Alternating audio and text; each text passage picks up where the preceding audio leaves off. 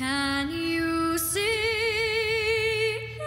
the dawn's early light? What so proudly we hailed at the twilight's last gleaming, whose broad stripes and bright stars.